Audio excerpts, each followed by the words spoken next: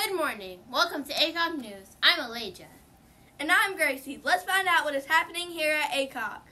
Today is Wednesday, January 15th, 2020.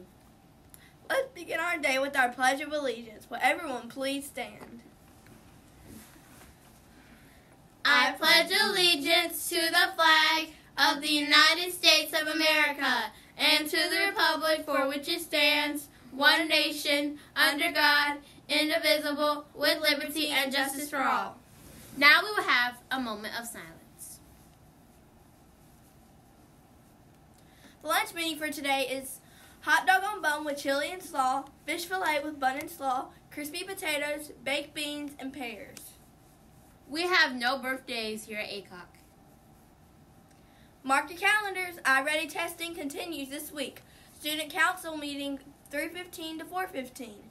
Joy Club meets Thursday at 3:15 in the cafeteria. And the second night week, the second nine weeks ends Friday. This is a, this is a late shout out to to the following students to, for having their Christmas artwork featured on Vance County Schools Twitter feed feed for 13 days. Only 15 students were featured, and five of those are Aycock's finest students.